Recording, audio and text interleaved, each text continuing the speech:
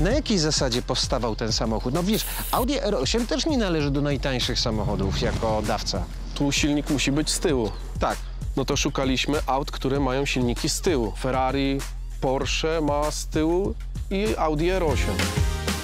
Najtańsze wychodziło Audi i po prostu kupiliśmy uderzone. Audi R8 jest samochodem zbieżnym z Gallardo, a nie z Aventadorem. Rozstaw kół przecież osi jest też zupełnie inny w Audi R8. Musieliśmy ciąć go. Co ty mówisz? No, Gdzie go cieliście? na środku.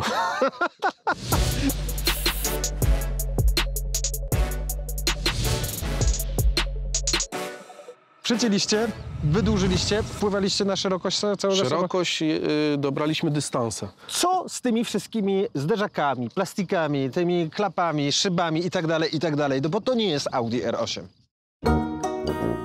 Dlatego to były lata e, robienia tego auta, z tego względu, że szukaliśmy po internecie, licytowaliśmy różne elementy i po prostu to, co mogliśmy kupić, to kupowaliśmy. Na przykład bardzo było ciężko z maską, to znaleźliśmy w Polsce firmę, która robi kopie tych masek, ale profesjonalnie, bo chcieliśmy jak najlepiej. Ale powiem wam, że to jest tragedia. No. I tak to wyrzuciliśmy. Musieliśmy kupić e, maskę oryginalną. Z biegiem czasu te części się pokazywały, no bo coraz więcej samochodów, coraz więcej rozbitych. Dach jest karbonowy, oryginalny i kupiliśmy w Polsce. Oryginalny dach, do tego to kosztuje majątek, 20 tysięcy euro. Ja cię kręcę.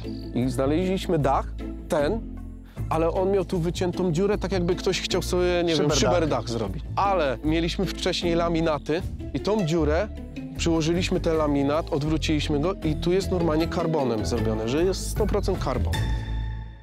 Teraz zaczynasz opowiadać o tym, to dopiero mam świadomość, że to wszystko musi być raczej oryginalne. Tak, Bo nawet cały kokpit, który masz tutaj zamontowany, to jest e, kokpit z Lamborghini. tak. A czy miałeś kontakt z oryginalnym Lamborghini Aventador? Już tak. Na początku wszystko robiliśmy z rysunków, z zdjęć.